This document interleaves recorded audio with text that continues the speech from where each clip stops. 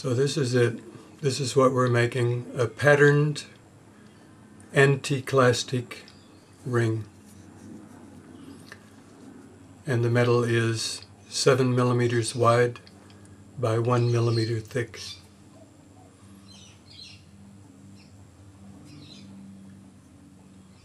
I like it.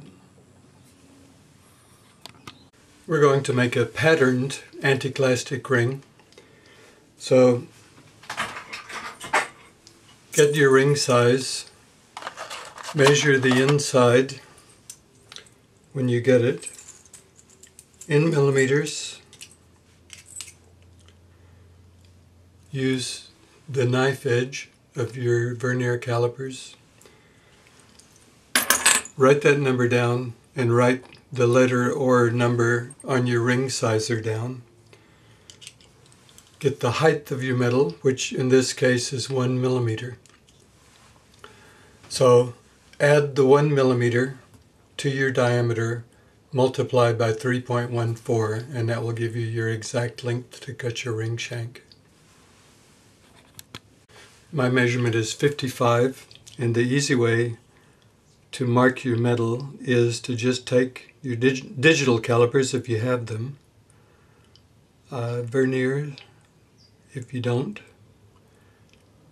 Set your size, tighten the little screw, and you can just hang your verniers on top of the metal and sweep the bottom across and it'll give you a nice little line to cut to. You can use your tri-square to make sure that the line is square. Scribe it and saw this mark. Saw just to the outside.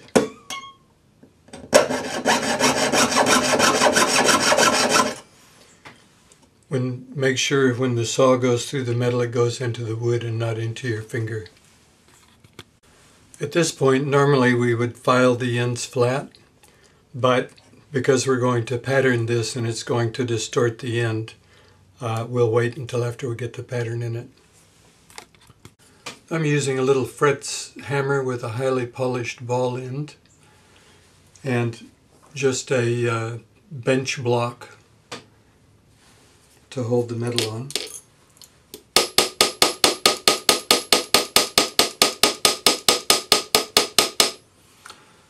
So when I'm finished, I'll have this hammered pattern all over the complete thing, right down to the ends. And when you're putting a hammered finish on, you make sure that the whole thing has a hammered finish. There shouldn't be any gaps in it. When you have your piece patterned, now this doesn't have to be hammer marks, it can be initials, numbers, it, it can pretty much be anything. Uh, at this point, file one end square, check your measurement, file the other end to your mark, and then anneal it. And you have to anneal at this point because you've work hardened the whole thing by hammering it. If you don't anneal it, it'll be almost impossible to bend. So file it back, anneal it, bend it into your ring shape. Hold your piece against your bench peg use a flat number two cut hand file and the file has a safe edge on it and you can check your metal to make sure that it's flat against that edge. Should be nice and flat, shouldn't be able to rock.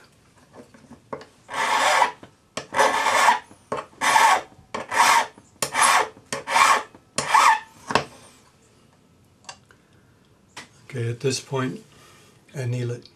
Just a nice neutral flame. If you're using LPG, uh, just heat this up until it's a dull red. Doesn't matter what torch you're using. If you shield the metal, you should be able to see the color. And if you can't see the color, see how the flame is turning orange as it's spilling across? When it starts doing that, your metal is annealed. Let it cool until it's not red. Quench it in water. At this point, it should be dead soft. Just try bending it in your fingers. Shouldn't take much pressure and it should stay. Uh, if it doesn't do that, anneal it again. So now we go into the pickle to get these oxides off. Now we have our metal that's been pickled. It's nice and clean.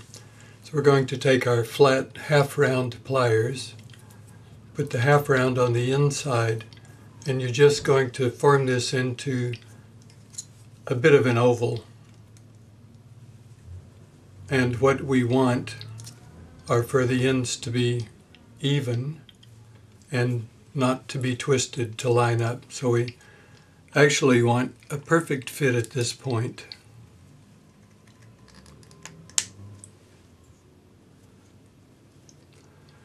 Just keep bending and twisting and pushing and pulling until this fits 100%. And if you're unsure, look up at the light, look through here, and you shouldn't see any big gaps.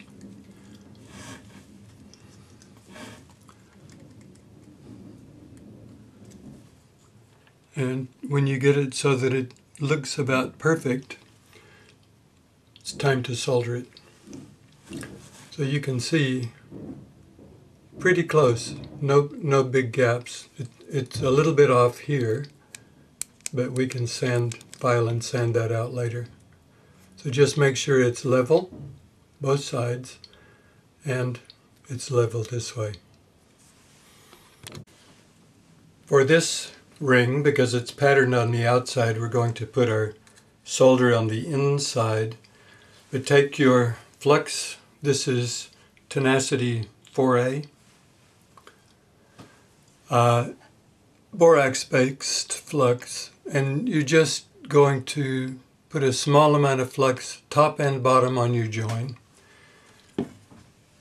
Three little pieces of hard solder that you pick up with your flux brush and place them so that they're either lying alongside the join or across the join. They need to be touching both sides of the metal.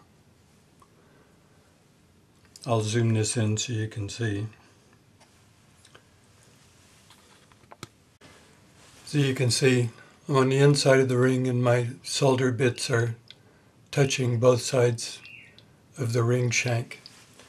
Now at this point we're just going to warm that up.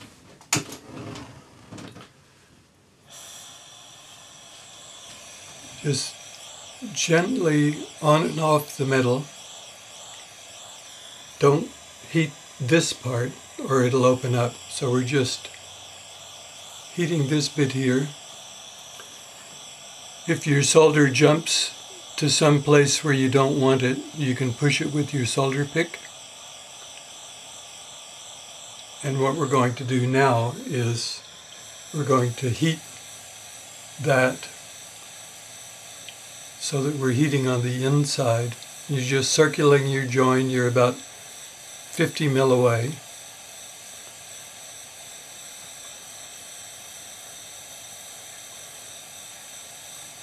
So the solder flowed, and it flowed the whole length, and that's what we want.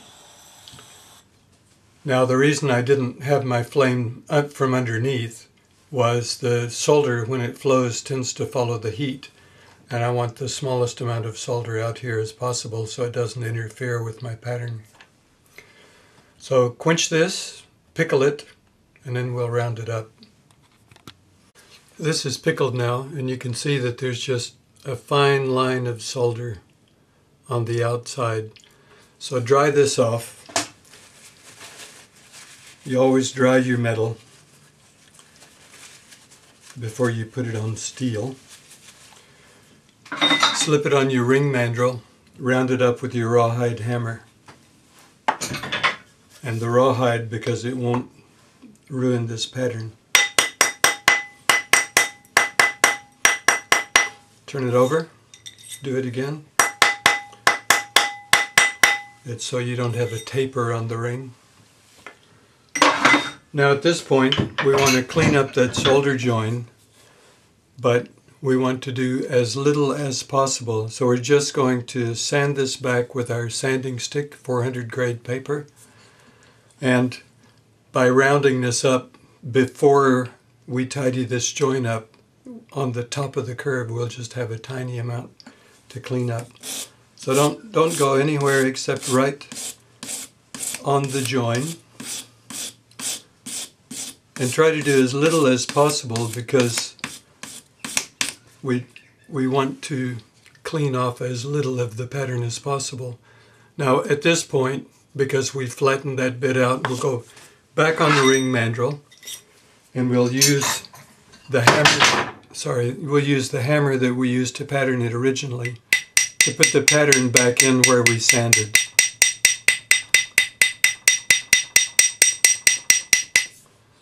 Done. So now our pattern should be the same everywhere and it should be invisible where we soldered it together. So the outside is pretty much where we want it. We need to tidy our solder joint up on the inside. So I'm just using a split mandrel with 400 grade paper and just spin this up and brush it back and forth across your joint until it's disappeared.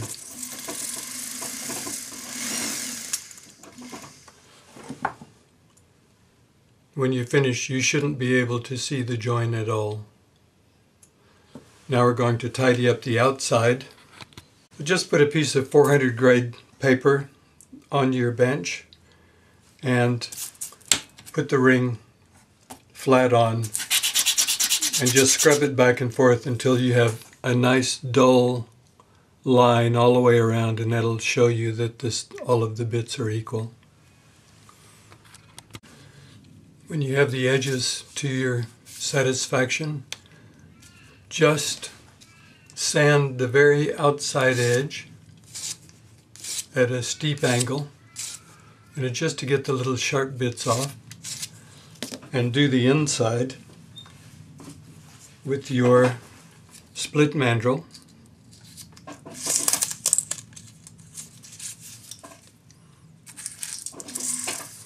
And you're just going to put that on a 45 degree angle on the inside.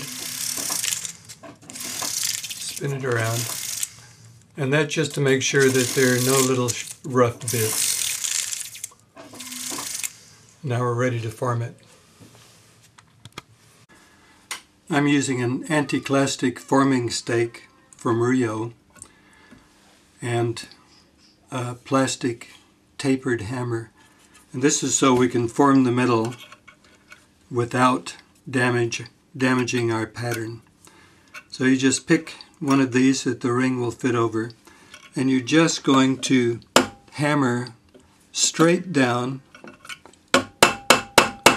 that's all and you're going to turn your ring underneath it.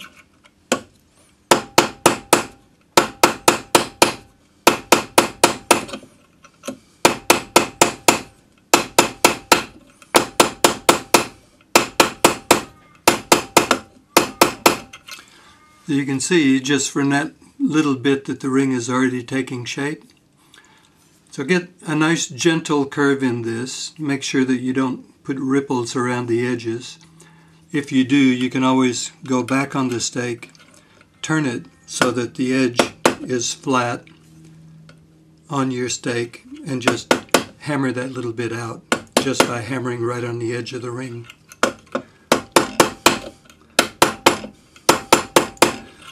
Now, you only want a gentle curve on this because when you put it on, if it's a real deep curve, it'll bite into the side of your finger. So this is finished at this point. It just needs to be polished, and I would suggest that you put it in the tumbler so that you don't take your pattern off. You can polish it with a polishing wheel, uh, a buffing wheel, but it will erase part of your pattern.